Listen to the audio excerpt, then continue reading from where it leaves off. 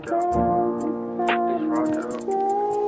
Sometimes I feel lost, like I don't know where to go, but I'm going to my best to explore on my own. Take time to myself, then everybody comment, they don't understand. I got shit running through my dome. I'm alive, but I'm gone, feel like I'm dead to the bone. Here, God, take it, you can really have my soul. I don't want it no more, don't ask me what's wrong. Late night, think about shit, God's in the nose. Why? I just scroll through my phone, looking back at all the pain, yeah, the songs that I wrote, and the shit that I said, or the shit that I did, just constantly replaying back in my head. I'm alive, but I'm dead now. Honestly, I'm scared, and I miss all my angels. I feel like she dead too.